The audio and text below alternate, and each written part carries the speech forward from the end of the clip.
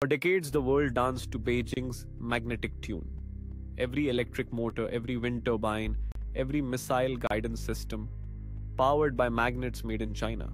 One country, holding 90% of the world's rare earth supply, and the rest of the planet begging for scraps.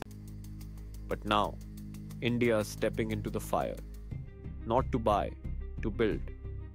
A $788 million strike, tripling the size of its rare earth magnet mission. This isn't industry, this is its independence, forged in metal and risk.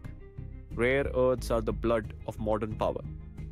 EVs, satellite, fighter jets, and surveillance drones.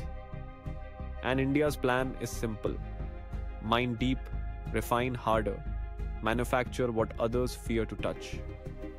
Yet beneath that vision lies the battlefield no one sees because mining rare earths means touching radioactivity, tearing up coastal sands, and defying China's price war. One move wrong, and India's entire EV and defense dreams could collapse.